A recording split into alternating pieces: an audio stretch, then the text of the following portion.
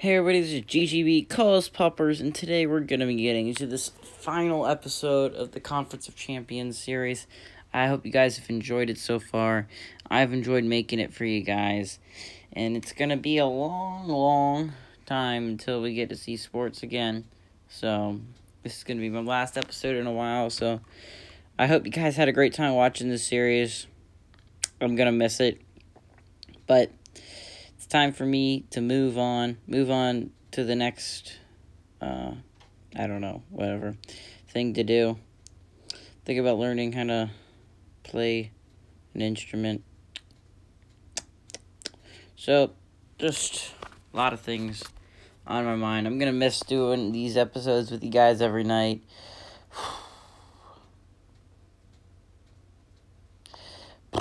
Uh, anyways, I hope you guys have enjoyed it so far. It does take a took a lot of work, but you know, I mean, what else was I gonna do? I mean, definitely ha- gave me something to do, and it really helped me get through most of these these months by myself, really. And I thank you guys for watching it because it really kept me going. But uh, this is the last sports video I'm gonna do, probably in a while. There's not really a lot to do considering we don't see football uh, NFL until September 10th. I might do some college football videos, but still that's the beginning of like August. I might do a I'll do a playoff predictions video before the season starts for both college and NFL, but it's probably all I'm to do. Boo, boo, boo, boo, boo, boo, boo. So, really gonna be gone for quite a while. Uh, when the NBA finals come back, NBA comes back. I mean, oh, I might do the playoffs. Let me know in the comment section below if you the guys like to watch some NBA videos of my opinions. I mean, NBA is really all I have left at this point. Uh, let me know below. Also, I'm thinking about doing a March Madness video next year. Let me know because I know losing March Madness was one of the biggest disappointments of the year so far for me. So, first and ten. Lamar Jackson hands it off to Devonta Freeman, who gets about nine yards. Great play by Devonta Freeman, who's really had a game. I let Devonta Freeman has really carried this offense at times today, and honestly, I expected that to be Dalvin Cook, but I guess apparently it's Devonta Freeman. Devonta Freeman just worked out better day. Maybe it was just the matchup. But it definitely looks like the ACC is in control here. It definitely looks like they're going to end up winning this game. ACC maybe oh, they'll probably they're probably looks like they're probably going to become the second ever conference of champions.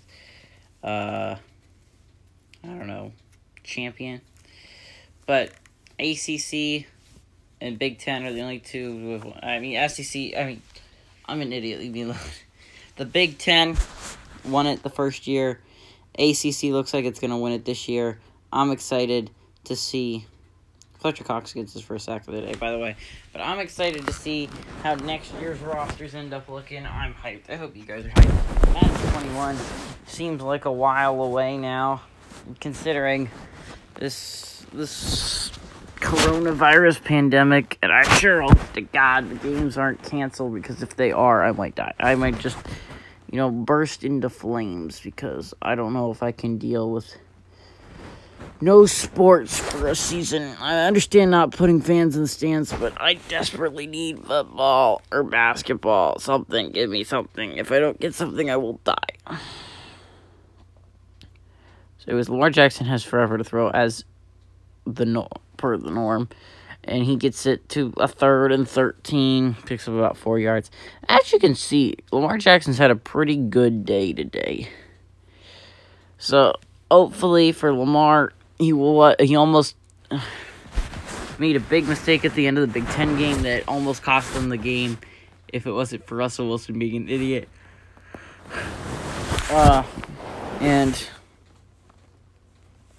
if what am I saying? And they he fumbled in the Big Twelve game that almost cost them the game, and that was an idiotic move. And if it wasn't for Kyle Shanahan's horrible uh, want to say play calling, but it's not just the play calling. It was uh, some clock management issues too. There's Tyler Lockett should have gone out of bounds sometimes. Some of his receivers didn't go out of bounds when he should have gotten out of bounds. That would have saved him a lot of time and a chance at a comeback. So, but honestly, the ACC's fought their way through some heartache, and they have a chance here as long as they hold out to be the second ever Conference of Champions champion. And it's going to be interesting to see what happens next year because we ha- are going to have a really talented starting quarterbacks in these conference of champions, not just the top few. Like the SEC is going to have Stafford or Prescott, whoever ends up starting next year. Uh, the Big Ten will have Russell Wilson or Brady or Brees. It's really a toss up at this point.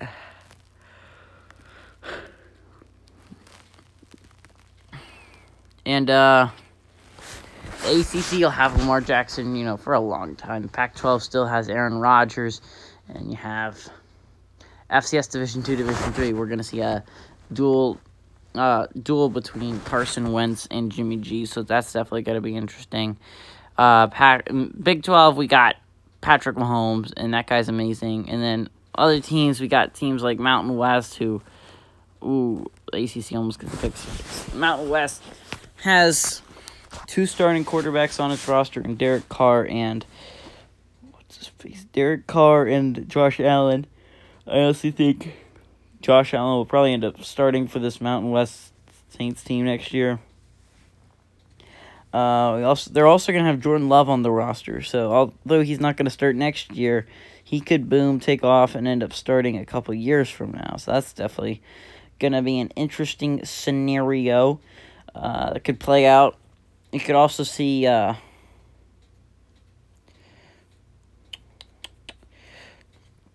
MAC be good next year. Or good enough. I don't know. Uh, but Big Ben didn't have a great. He, he had a pretty horrendous game. That's not why. Against the. Uh, damn, I'm an idiot. Uh, Independence Chiefs. Independent Chiefs. Uh. Really had a bad game. But, on top of that. The MAC still does have a very talented offensive roster. The defense might be very weak and poor. Uh, but they do have some hope there for a couple years run. They're not going to have Big Ben Roethlisberger for long, and once they lose him, they're probably not going to compete for a long time. Uh, but you got Big Ben Roethlisberger. You got Kareem Hunt at running back, who's an amazing running back. You got a receiving core with Antonio Brown, Julian Edelman, and Kenny Golladay. Three fantastic receivers. Uh, and then you got a pretty good offensive line. I wouldn't say great offensive line. But you had some great spots on it. Some, and then the defense, although you got Khalil Mack, it was pretty weak all around other than that. But Maxx Crosby, if he could step up and be great, he could end up being a big playmaker for that team. And if they could get Sean Murphy Bunting, I think that's his name. Uh, if he can step it up, then they can get a a solid play player in that secondary. So definitely going to be interesting to see if the Ravens do better than the Rams next year. If the Ravens do do do better than the Rams do, then uh, we're going to get another Ravens style offense with Big Ben Roethlisberger running it, which means to see a lot of read options with Big Ben Roethlisberger, which was, I'm not going to lie, pretty fun to watch. but uh, other than the MAC, we got Independence, and Independents are going to be run by Andy Reid for until he probably retires, since he went to BYU and he's still probably one of the best coaches in the league. And they've got a great coach. They have a good defense. I'd say they got a pretty good offense. If Taysom Hill can take a step up in a couple of years, I'm probably he's not starting this year, but I bet Brees isn't. This is his last year in New Orleans or just in the NFL in general, I guess. But Brees is gone, it's going to be all about who's taking the mantle of, you know, Brees. Will it be Taysom or will it be Jameis Winston? Honestly, I don't know what to hope for because I love Taysom's playmaking ability, but if Jameis can get his head in the game and stop with all the turnovers. He has tremendous arm talent. So it'll be all about how he grows this year. And that'll be interesting. But if we wanted to keep a quarterback like that, hope you have him start eventually. We just could have kept Teddy Bridgewater, but let's be honest here. Jameis Winston has much more arm talent than Teddy Bridgewater does. But Teddy B, it's going to be really weird to watch an offense. Yeah, have a backup quarterback that's not Teddy B. I love Teddy B last year. Great, great, great quarterback for us. Went went undefeated when he was their backup uh, when he came onto the field for Drew Brees' injury. But let's stop talking about that. But Taysom, if he ends up getting that starting job in New Orleans and rocks out like Lamar does for this offense, and I could see it happening. Taysom has a, a very similar skill set to uh, Lamar Jackson. Obviously, Lamar Jackson's a better thrower, uh, but I don't think that's gonna impact that much. And I guess the Saints could just transfer to a, a Lamar Jackson type offense. But then you have teams like the American, and the Americans on a downward spiral.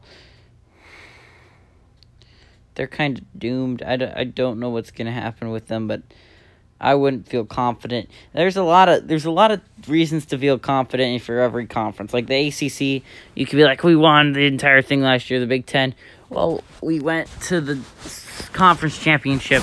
Just ended up being beaten by the ACC, who went and won it all. SEC, same thing. You lost to the ACC, and that's nothing to be ashamed of. Uh, they're a very very good football team. Uh, you also have teams like Pac 12, even though they went down in the di- divisionals, was a very close game. And they do have a lot of good players on their team. So there's, like, all the top six teams, there's no reason they should even be sad at all. They all have a chance, a viable chance to go compete for a national championship. Mountain West has some very good key, very good players on their team. And it looks like they're building if Josh Allen can really improve, they're going to have a great quarterback for the future. On top of that, you got Independence and you got Taysom. Taysom's going to be a quarterback for the future, and he's going to play great. And other than that, they have a great team built up already. They just need quarter good quarterback play. And uh, what else was there? And the MAC, you still got Big Ben. You still got an amazing explosive offense. Uh, you have the what was it? Yeah, I think I got a uh, Conference USA. You got Nick Mullens, and yeah, honestly, Aaron Jones, Devin Singletary, T.Y. Hilton.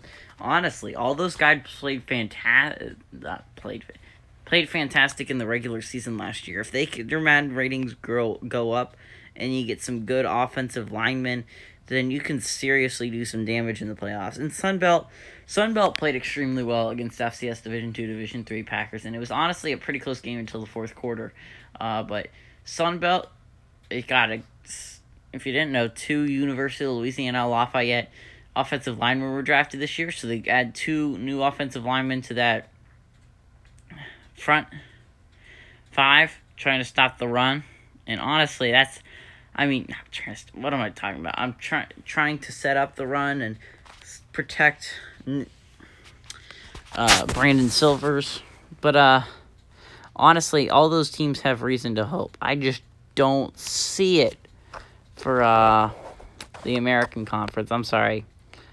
I, I just don't. What the heck are you doing, DeAndre Hopkins? You just run into the wall. But uh, I just don't see it. Everyone else, they, I think they have reason to be happy. Conference USA and Sun Belt really played well.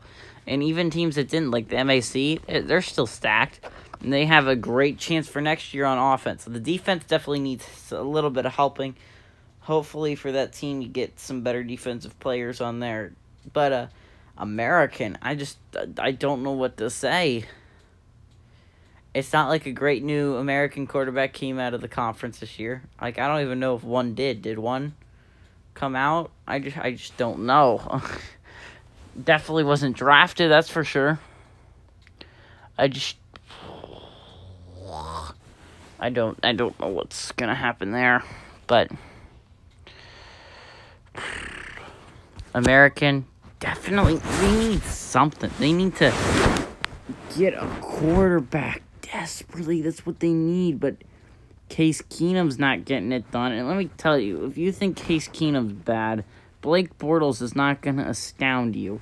So they definitely need to go more run game with Marlon Mack, but then you you have the that's what they tried against the Mountain West. A defense really should be formidable though. Like also, next year they'll be losing every single one of their UConn players, which might not sound like a big deal, but then you lose Byron Jones and see here's the thing, you move Byron Jones from your top corner and he's going to move on to the FCS Division 2 Division 3 team because he if you didn't know the the UConn as a college University of Connecticut decided to go to the Big East as a conference. Started playing there now. So instead of the American, there'll be an FCS Division Two, Division Three team. So it's definitely gonna be weird, weird, weird, weird, weird, weird, weird, weird, weird, weird, weird. To not see Byron Jones on that team, but see him on another team. But now AJ Bouye will be their top corner in the game, probably. And they just got to hope McKenzie Milton comes back from that injury because, honestly, he's their only hope for the future at quarterback. It's really the truth. I mean, if McKenzie Milton comes back, I still, arguably, I think he's one of the best quarterbacks in any draft class. And although I feel like McKenzie Milton wouldn't be as proven and he's coming off the leg injury, that's a risky move. But if he goes next year and he he goes out next year and he plays amazing for UCF. I get taking Trevor Lawrence before him, and I get taking Justin Fields, but I feel like he's the third quarterback to go off that board. Because I feel like, other than Milton, the third best quarterback in that draft class is like Sam Ehlinger. So, I'm not sure I want to draft Sam Ehlinger as my future franchise quarterback when I could take a risk on a guy like McKenzie Milton, who's just been astounding when he's on. He's almost always on, by the way. the only time that we really saw him not do well, I don't think I've ever seen him not do well, honestly. I think he's played absolutely amazing in every single game I've seen. So that, if you're an American fan, you still you're still a couple years away from getting a guy like that maybe two, two more. I mean, this uh, this one, the next years you won't have any good quarterbacks, but maybe the year after that, McKenzie Milton goes in the same draft class as Trevor Lawrence. You could get a guy, but you're start probably about three or four years away from actually competing. If we're being honest here, I'm I'm sorry, American fans, but it's true. It's it's it's true. Sorry. It's to be weird next year, though.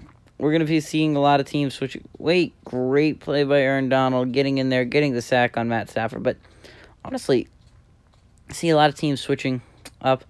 I could see the ACC probably is going to stay the same. I bet we see the ACC Buccaneers next year as well, just because you know uh, Bruce Arians went to Virginia Tech and you know he definitely seems like the best equipped ACC coach to either lead his teams to the playoffs or be the best record of those teams.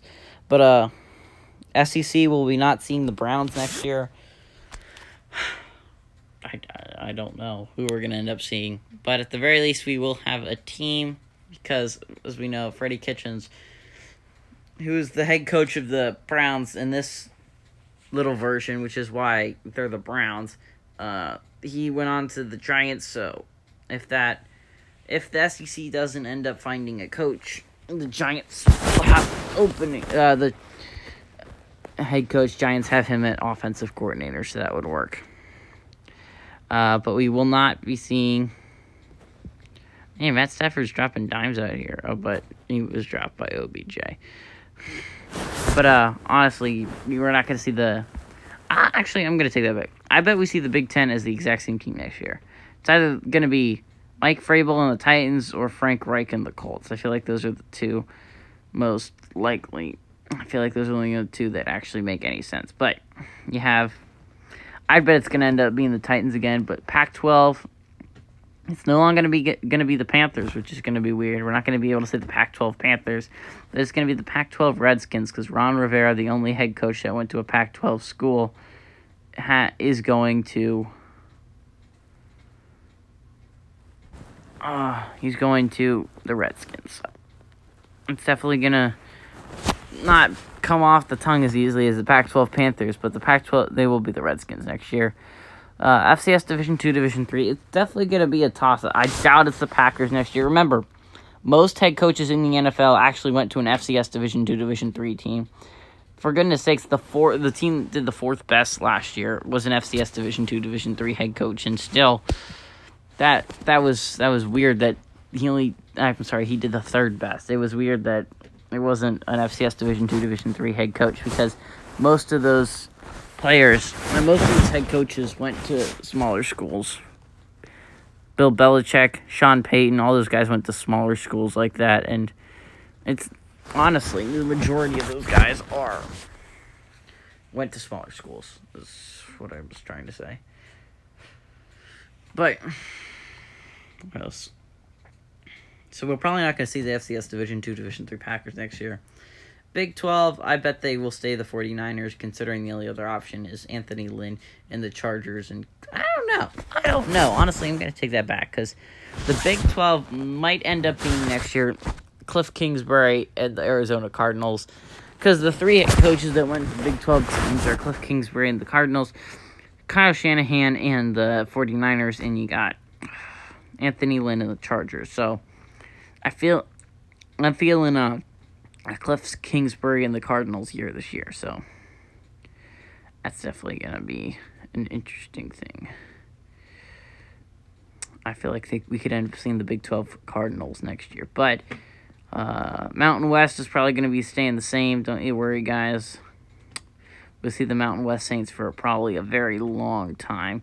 Uh, we also, unless the Saints do fantastically well, in that case they will be the FCS Division Two, Division Three program because Sean Payton went to Eastern Illinois. But you have, what was I thinking? I was thinking words. The English language was on my mind. Uh, the Independent Chiefs will stay the same. Uh, Andy Reid went to BYU, only head coach in the NFL that went to a independent school, so they'll be staying the Chiefs for a long time, so you don't have to worry about that. Having your favorite team switch up on you and you'll be confused. Uh, American could easily move on. I, I don't know. I don't think a head coach has been nominated, so I I think the Steelers is a possibility still next year unless Mike Tomlin again does very well and takes the FCS Division Two, Division Three spot. Uh, I don't know if the guy from Rice is still coaching Conference USA. Would still be. I don't know if he's still on the Cowboys. I don't know if he's still a defensive coordinator for the Cowboys. Is what I was trying to say. Uh, but he might be. I don't know. And then you have. And then finally, you have. No, no, fine. You still have the MAC. Uh, they're going to be it's gonna be either the MAC Ravens or the MAC Rams, guys. I honestly see the Ravens doing better than the Rams this year. Rams have just gutted their roster. And They're just, I guess, hoping that Jared Goff doesn't turn out to be a flop.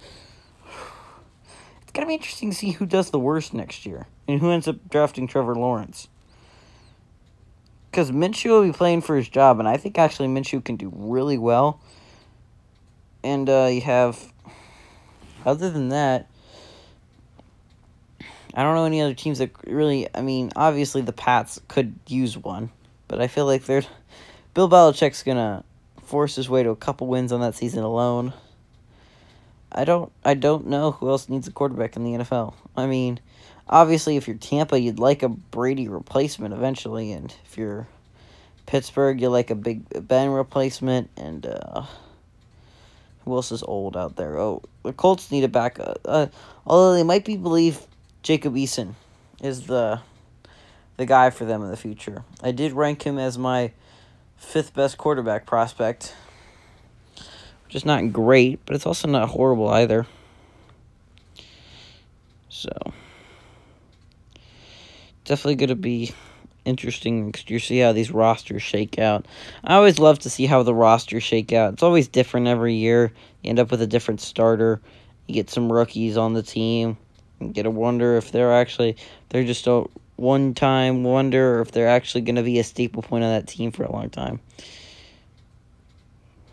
So, definitely interesting. Was Nick Bosa's uh, rookie year just a fluke? And what's going to be interesting next year to me is this. sounds weird, but the Stafford and the Detroit Lions, because if you look at that offense, they have the firepower. You have, honestly, though, think about it, okay? I know you're laughing, probably, uh, but Lions have now two solid running backs in on Johnson and D'Andre Swift.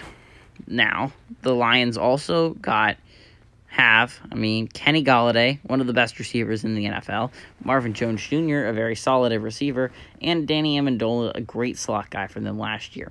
Also at tight end, they have TJ Hockenson, their first round draft pick from last year, and Jesse James, who is a very solid veteran. And I honestly think Stafford is one of the best quarterbacks in the NFL right now. I go like Patrick Mahomes, and then like the second favorite quarter my quarterback that I'd like to have after that would be.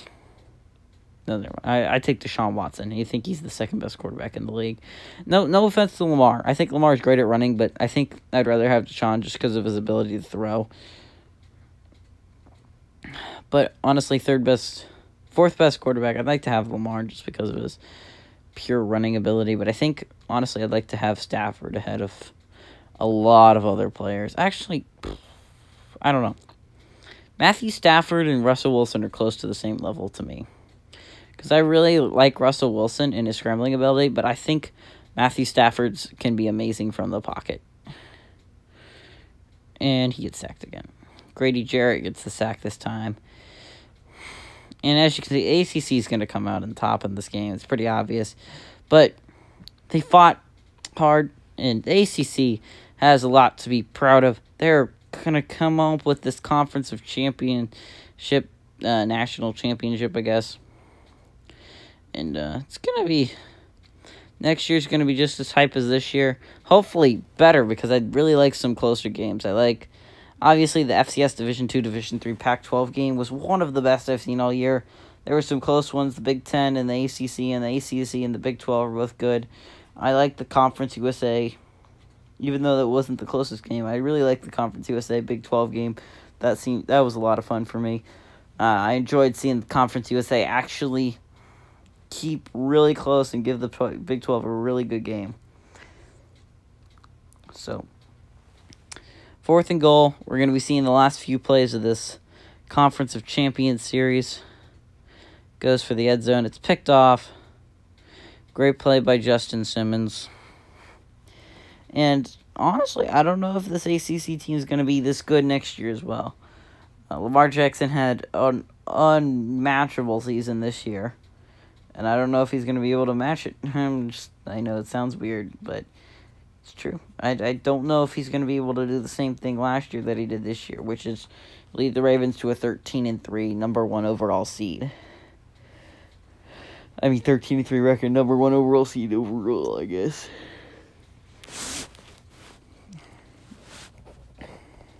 And I, people are hating on teams, but I honestly think I'm gonna defend a team that I really like here. Okay, so I'm gonna defend two of my favorite teams here. I really liked what the Saints did with their draft. They got Cesar Ruiz, and uh, he's gonna replace one of our guards. I hope it's Andrus Peat this year because Andrus Peat is bad. He's not that good, and I would love if I could get five solid offensive linemen on the field at one time.